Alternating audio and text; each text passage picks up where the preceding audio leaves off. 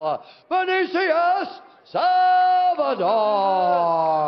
Adrian Yanez. To stop trying to hit so hard and be okay with touching and then setting. Oh, big right, Salvador's down. That's it. I mean, he's, he's setting up the knockout now. Oh, all day. See if he can get him out of here and finish it. He looks like he's going to get him out of here. He's close. This is it. That's it. The knockout moment brought to you by Buffalo Wild Wings. Look at that. He sits him down with a nasty overhand. I mean, he'd been setting that up the whole match. And, you know, we saw Salvador was able to dodge it early because he was loading so much. It happened. Look at the counter.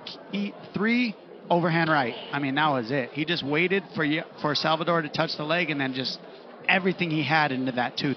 Adrian Yanez.